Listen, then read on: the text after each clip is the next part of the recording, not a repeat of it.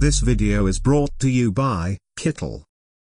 Hello everyone, welcome back to my channel. Today, we embark on an exciting journey to create a family crest logo for a fictional client. And our client today is, a werewolf. Mr. Archibald Lancaster, a distinguished figure with a lineage steeped in supernatural heritage, has reached out to me. As a proud member of the Lancasters family, a lineage of disciplined werewolves, he seeks a crest that embodies their harmonious existence between humanity and their inner wolf. The Lancaster crest should evoke strength, control, and a sense of ancient wisdom. To make this design happen today we will use Kittl, the go-to design platform for brands and creators. Create eye-catching graphics effortlessly with advanced features like real-time text transformation, magic recoloring, and innovative texture clipping. Enjoy unlimited access to illustrations, fonts, photos, icons, and more. Choose from a vast collection of professionally designed templates to customize in just a few clicks. Kittl streamlines your workflow,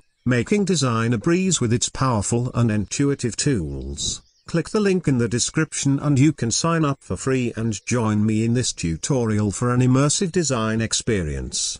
Or you can opt for a premium plan and enjoy an exclusive 50% discount on your first month. Don't forget to apply the coupon code ASHRAF for extra savings. Click on New Project. Here you can customize your document, and here you can find standard presets, and these are presets specific to print-on-demand designs. I will go with this setting, click on Create.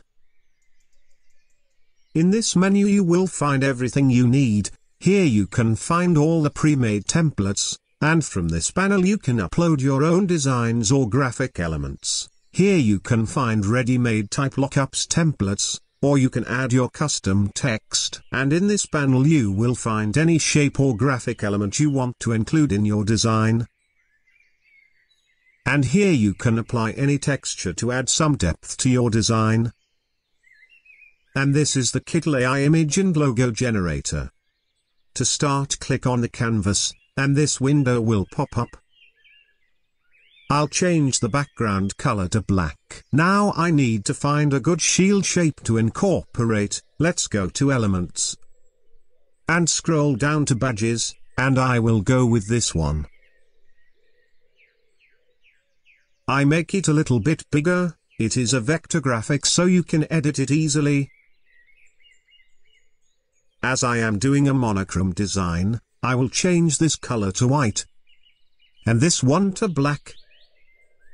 This one too I will change it to black. From here I align the shield to the center. To add a wolf head, I will make a quick search, scrolling down to find the right one.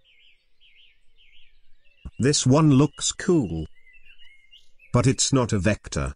I remove it. And I will go with this one. I resize it to fit the shield. Then I change this yellowish color to white. And this darker gray to black. I make it a little smaller, then like in Illustrator, hold Alt and drag it to the right to duplicate it. Right click and make a horizontal flip. Drag it a little more to the right, hold shift and select the other wolf, then right click and group them. And then align them to the center. Now I will search for a symmetric wolf face to put it in the middle. I'll try this one. Nope, I don't like it. I will go and search for a skull motif. The skull serves as a reminder of the transient nature of life emphasizing the Lancaster family's acknowledgement of their dual existence as both mortal and supernatural beings. I will choose this one. I put it in the middle. Then I shrink it down. Then I change this to white, and this grey to black. And make sure to align it to center. Now I am going to add a sword design. The sword represents the Lancaster family's role as guardians of their werewolf legacy and protectors of both the mortal and supernatural realms. I select these crossed swords. Then I change this color to black. And all the other colors to white. Make it bigger. Then put it in the middle. And then from here, hold shift and rotate it by 180 degrees. Make it a little bigger. Right click and send it to back. Then I drag it up and down until I find the right position. Now I select the shield, and from here, I will add a drop shadow. I adjust the offset, and then I change its color to pure black. The next element to add is a barbed wire. Barbed wire represents intricate control and restraint. The family's mastery over their werewolf abilities. I search for barbed wire. I select this circular wire. Change its color to white. Then put it in the middle and shrink it down. Then right-click and click on backward. I do it again so it moves behind the skull and the two wolves. Now to write the family name, I need a banner. I go to Elements. Then scroll down to Banners. I'll try this one. And I will compare it to another one. Okay, I think this one looks good. I get rid of this one. Then I drag this one here. Change this color to black, and this one to black too, and this color I change it to white. Make sure to align it to center. Then I drag it up here, and holding shift, I select all these elements together. Then I drag it down here, and I shrink it down a little bit. Now drag the banner down here. Scale it down, then align it to the center, and then align it with the shield. I select the skull along with the two wolves. Right click and I bring them to front. To write the family name, go to the text panel, and click on add headline. Drag it on top of the banner, then double-click and write the family name, Lancasters. From here I can change the used font. This font collection has some of the best fonts you can find online, from a classic sans serif font to handwriting to modern or futuristic styles. I will choose this one, Brookfield. From here you can transform it freely by moving these handles. Or you can just choose one of the transformation presets. As our banner is rounded, I choose the circle transformation, then I drag this point to make it wider. Align it to the center, then increase the tracking, and a little bit the font size. To add a special look to the type, go to Effects, and select this 3D shadow option. Now I change the shading color to black. And I change the text color to white. I adjusted it a little bit. And put it here. Go to Elements. And scroll down to these simple components.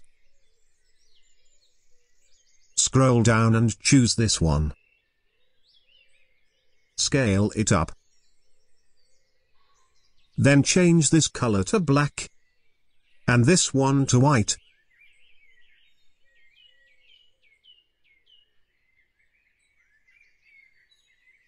I think this one too I will change it to black. From here, hold shift and rotate it. Then shrink down and align it with the shield. Right click and send it to back. I make it smaller. And align it to the center. Now I go to the text panel.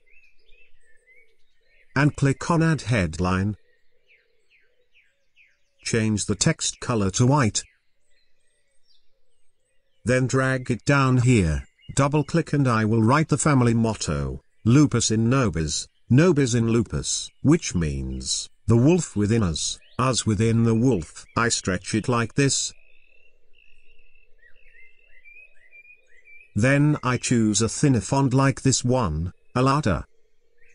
Now select the circle transformation option, drag it up here, and to invert the direction of the type, activate this slider button. Then I drag this circle down. Then I adjust the size and the tracking of the font to fit the circular banner. Now I want to add a rose, I make a search. Then I scroll down to find the right one, I think this one will fit the look and feel of our crest. The rose represents the coexistence of beauty and strength, mirroring the family's ability to balance their human and werewolf aspects. I shrink it down, then I put it here. Then I make sure to align it to the center. Now that all the primary crest elements are established, I will embellish it with additional decorative elements. I search for flame. Then scroll down to find a simple one. And that's it. Change its color to white. Shrink it down. Then align it with the shield. Hold Alt and drag it to the left. Then right-click and make a horizontal flip. Then align it. Hold Alt and drag it down. Then rotate it and align it with the sword. Hold Alt and drag it to the right. Then flip it. Select these two flame icons, then right-click and group them. Then align them to the center. Then do the same thing to the other flames. Okay, I think I need to make these flame icons smaller.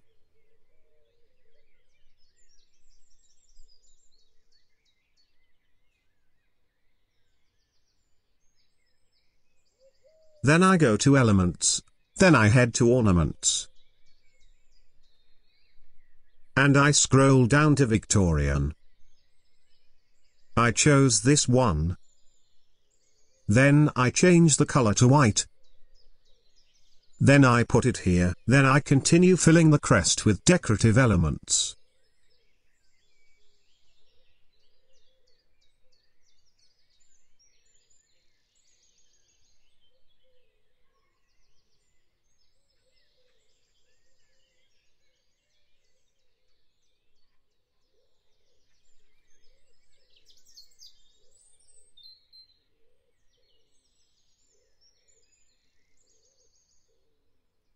Now to give the design more depth, and to separate the skull from the wolves, I select the skull.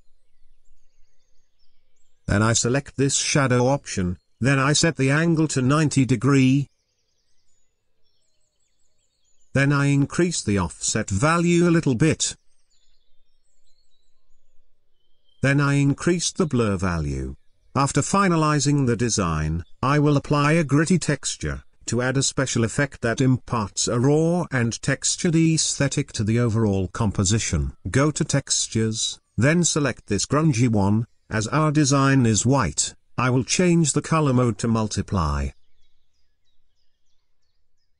You can change the texture by just clicking on any one you like. I'll go back to this texture, and that's it. As we conclude our design journey, I encourage you to join in, design your own emblem and share it using the hashtag, Madash for my personalized feedback. Hit like, share with fellow creatives, and subscribe for more inspiration. Keep creating, and until next time.